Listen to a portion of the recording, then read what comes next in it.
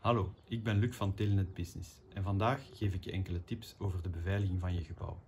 Misschien ben je ook hals over kop van je kantoor vertrokken of heb je zelfs je bedrijf helemaal moeten sluiten. Weet dan dat je camerabeelden dat je die perfect van op afstand kan gaan bekijken via een smartphone of een laptop.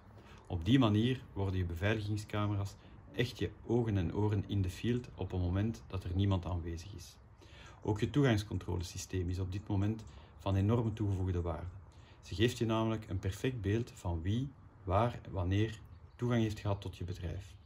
En wens je op dit moment tijdelijk de toegangsrechten aan te passen of op te heffen, dan kan dit ook perfect van op afstand en heel eenvoudig gebeuren. En een derde tip, misschien voor de hand liggend, maar zorg ervoor dat alle meldingen van inbraakcentrales, brandcentrales en dergelijke, dat die nog steeds goed doorkomen.